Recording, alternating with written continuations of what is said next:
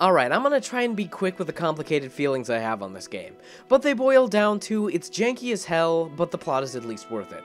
It's got that early 3D PC RPG thing going on, where the combat is a weird mix of click action and random number generation. It also has this weird rhythm thing, different attack styles on top of which sword you use. There's also a lot of silly stuff, like how you need to both level up herb gathering and read books on herb gathering to gather herbs at all. But the biggest problem is Chapter 2. You can fuck yourself into not being able to turn in quests several ways, and it's essentially comprised of entirely running around a map that's a little too big.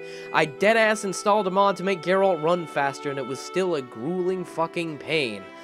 But after that, it improves significantly. Chapter 4 is my favorite. It has the Shakespeare-esque tragedy that you tag a kid along for and try to teach him morality with. The ending also hit me with a really incredible twist that made struggling through Chapter 2 pretty worth it. It's good if you can survive jank, bugs, and kinda bad voice acting, but it's like Vampire the Masquerade or Mount & Blade, that's part of the charm. Plus, choices do actually matter, which is nice. This game is just a massive improvement on every aspect of the first game except maybe the writing, which was already really solid. The graphics are miles better, the music fucks pretty hard, the voice actors took some classes, and the biggest improvement is the combat. They scrapped the combat of the first one for a bigger action focus. You hit things with your sword and dodge out of the way of attacks. The story has got a lot of really good choices. For instance, there are three chapters in this game, and which chapter 2 you play depends on a choice you make in chapter 1, which is cool as shit.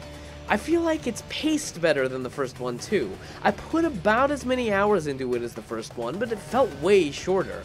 And also it kind of feels like a 30 hour prologue to Witcher 3. I played to the end of this one and damn I wanted to jump into the third one. But the game does absolutely hold up on its own and definitely worth playing. I was not aware video games could be this good. I was under the impression that it was legal or something.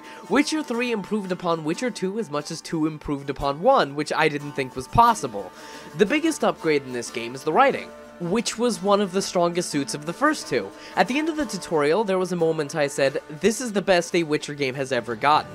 And looking back, that seems incredibly quaint. It's a game I've been playing off and on for months, and it's never felt like it's spinning its wheels even like a hundred hours later.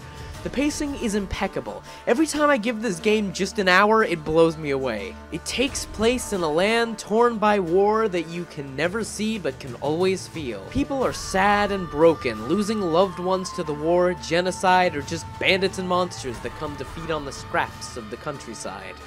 The characters around it are what really give it life in which one you'd complete a task, tell someone about it, and they give you information, then you do another task. In Witcher 3, you complete a task, return, find the guy who completed the task for sitting in the garden, and then you listen to his heartbreaking musings on how the garden was his wife's life. And, while the story is still the strongest aspect of Witcher game, this game has a lot going for it in every other area. It's got a ton of side stuff that's just play Monster Hunter for a little bit, i.e. track down a monster, then have a fun boss fight. The game is beautiful to look at, for a very realism-bound game with a pitch-black story, it's got one hell of a color palette. Potion crafting system took the opposite route from Witcher 1 and is now just the least annoying potion crafting system in any game. And if I were to give one complaint, some of the character traits do go from absolutely useless to fucking ridiculous, but in the blinding light of everything else, this tiny little dark patch is hardly noticeable. If you haven't played this game, you've probably heard everyone saying it's fantastic. Believe the hype, it really is just that good. This game looks like the game that I have wanted all my life, as I am a huge slut for good sci-fi. And if they do the thing that they've done with the rest of the games, and knock this one up a notch from Witcher 3, it might end up being my favorite video game. Of course, it's hard to tell that much about a game before it's out. But that 40-minute trailer had better world-building, pacing, and was more engaging than a lot of cyberpunk movies. Most times I'll, you know, skip around in a gameplay trailer, but this one I keep coming back to just to watch the whole thing. It's like a really good pilot episode of a TV show. Like, I'm excited for E3 on the off chance that we get another one of those. CD Projekt Red ain't let us down so far, so I feel safe in being hype. Hell yeah, let's go. Wow, Hearts of Stone was really good, but I think it's time that I moved on to Blood and Wine, because because I finished Hearts of Stone, and that's like the next thing that you... Let's look at the quests. Oh, right, the, the main quest. maybe I should actually finish. So here I am in beautiful Toussaint fighting Dark Souls. Now here's the thing about Dark Souls that these guys obviously don't remember. You just always gotta be rolling and he'll die eventually. You don't mean to hunt the beast, I hope.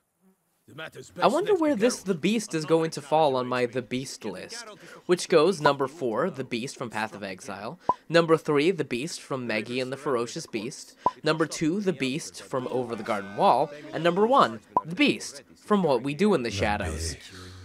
Selling Belgaard to either of you is out of the question. Seems to me there's a simple solution to your problem. You guys should just bang it out. Well, happy? This is your fault. Mine? You're deranged, woman. Based on your actions, I'm surprised you haven't already. What is your rate? Let's jack this shit up. Yeah, looks good.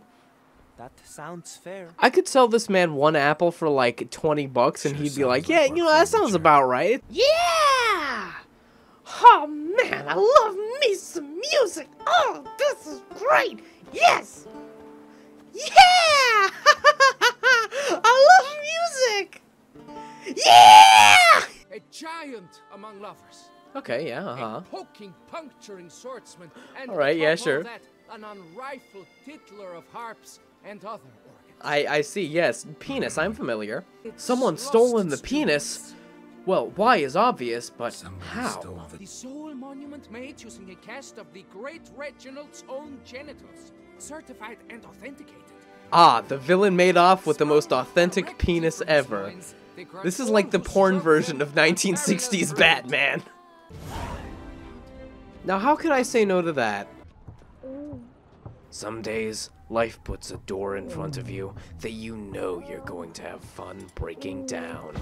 You seem well informed, Hughes. Maybe you know who stole Reginald's testicles.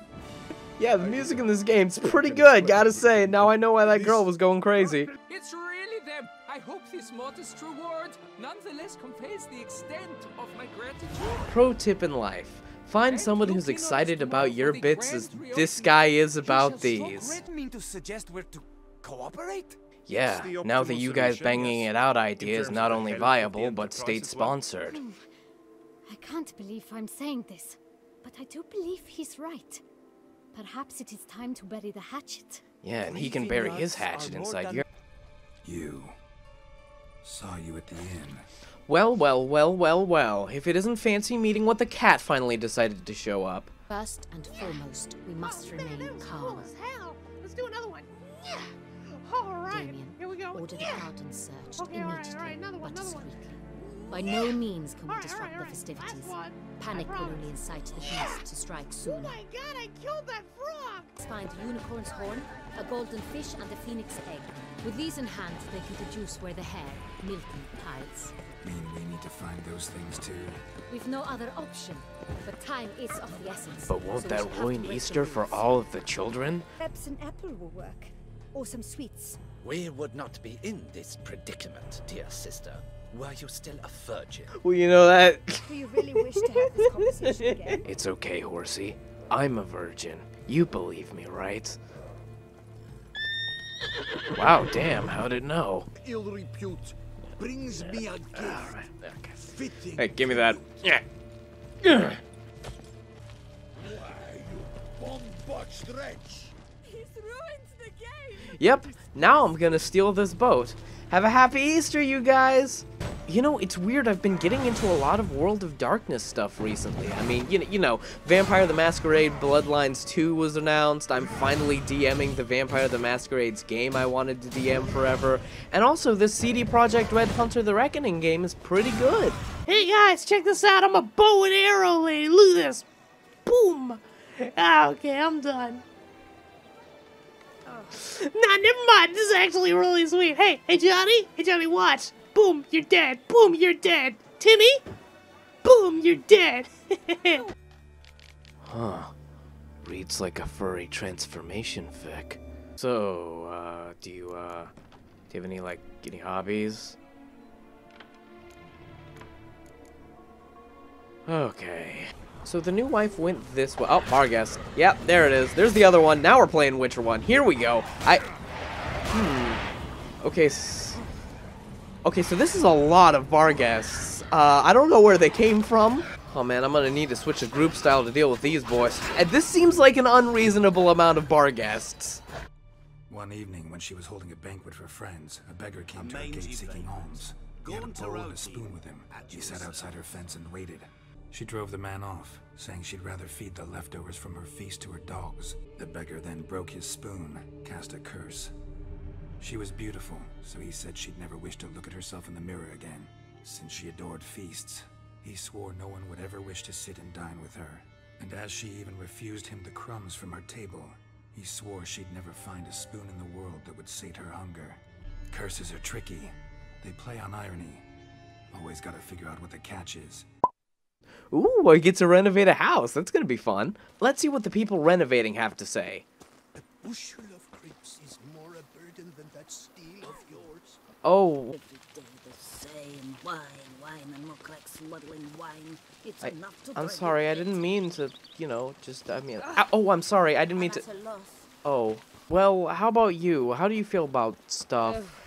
Life. Yeah, that seems to be the general sentiment. Well, okay, how about you?